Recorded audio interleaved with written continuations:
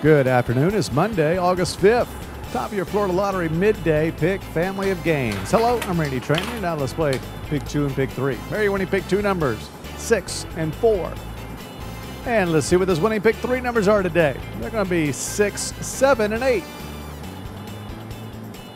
More than 800,000 students have been able to attend college on a Bright Future Scholarship. The Florida Lottery. It's your ticket. Out here, you to pick four and pick five numbers. Pick four this afternoon zero, nine, six, and zero. And you winning pick five numbers. They're going to be four, five, six, six, and two.